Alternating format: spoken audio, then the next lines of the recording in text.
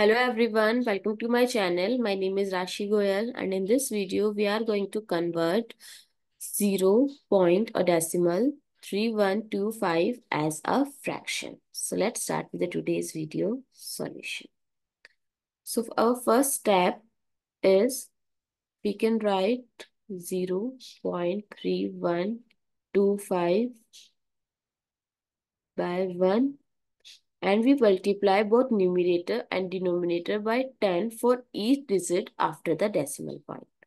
So in numerator and denominator, so after the decimal is, there are four digits, so we'll multiply 10 times, 4 times 10 in numerator as well as in denominator. So when we multiply in numerator, it gives us 3125 and in denominator is it give us 10,000. Now we have to reduce it to find in order to reduce to we have to find the greatest common factor GCF of both the numbers. And we have to write the factors first 3125 and factors are numbers that divide the number completely without giving any remainder so 3125 is 1 divisible by 1, 5, 25, 125, 625 and 3120. Now we'll write the factors of 10,000.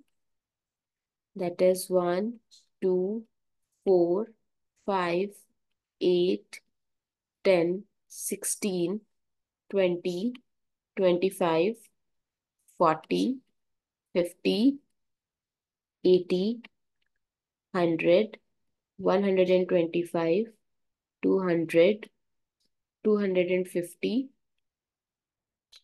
400, 500, 625, 1000, 1250, 2000, 2,500, 5,000 and 10,000 itself. Now greatest common factor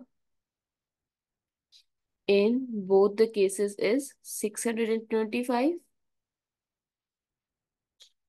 So we'll divide both numerator and denominator by 625. So we get 5 by 16. So 0 0.3125 in form of fraction is 5 by 16. I hope it's clear and if you find know the detailed video on fraction and decimal, you can find it in description box, the link. I hope it's clear and you find it useful. So please give us a thumbs up and do subscribe to my channel. Stay tuned.